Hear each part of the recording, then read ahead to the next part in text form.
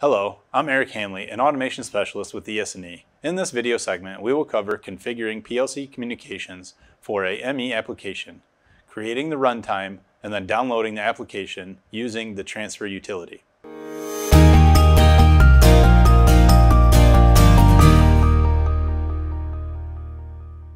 When configuring your project, you need to set up the communication path, aka the PLC shortcut, for the HMI to find the PLC.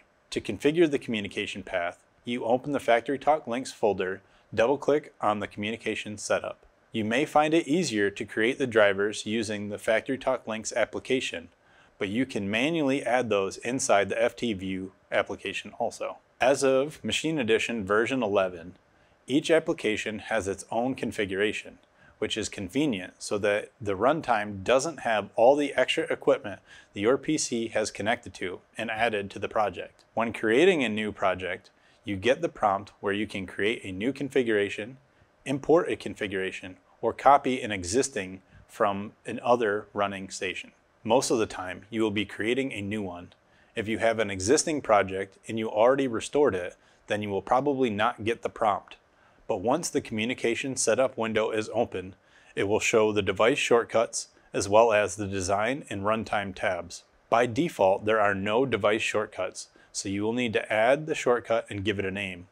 If you have multiple controllers, you will need to create multiple shortcuts, and each shortcut must have a unique name. Once you create the shortcut name, then you will browse the drivers to find the proper device, or you can add this manually by right-clicking and add driver or device.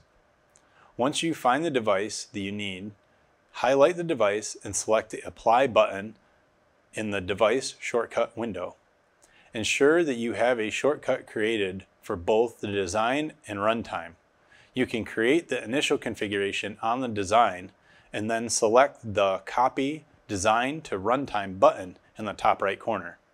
Once you have a shortcut created and assigned to a PLC, then it is best practice to select the Verify button in the bottom right corner. This will launch a pop-up where you should see that the shortcut is assigned to a device. If there is an issue with the shortcut, it will show in this pop-up window.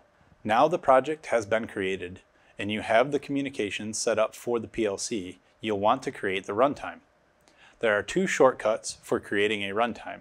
One is an icon in the header, and the second is selecting the application dropdown and then selecting Create Runtime. It will launch a pop-up screen where you'll be able to see the runtime being created.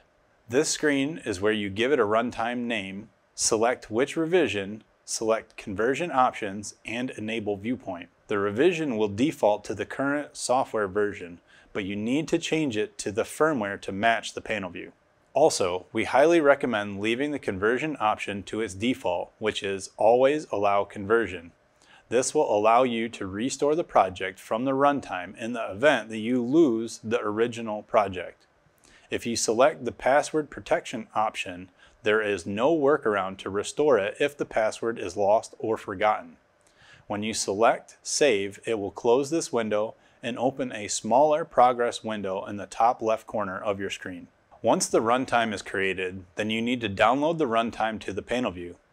In Rockwell World, download is taking the runtime from the PC and loading it into the panel view. Upload will be taking the runtime application from the panel view and saving it on your PC.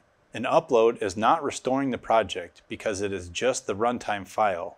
If you need to edit the project, then you will need to restore that runtime. Machine Edition uses a program called Transfer Utility to download, upload, and compare runtime files. The transfer utility has two shortcuts just like creating the runtime. Inside the transfer utility, there are separate tabs for each function. On the download and upload page, you can see the runtime version, which is a nice feature when trying to determine the runtime version. On the download page, there are a few options to select when downloading the runtime. You select the runtime that you want to transfer, where you want to store the runtime on the panel view. You can also check if you want to run on startup, replace the communications, and delete the log files. Typically, a runtime is loaded to the internal storage, and on the initial download, it is best to replace the communications. The transfer utility is also its own standalone application, so you do not need to load FactoryTalk View Studio when trying to transfer runtime files. Thanks for watching, and if you have any questions, please contact your local ES&E account manager or automation specialist.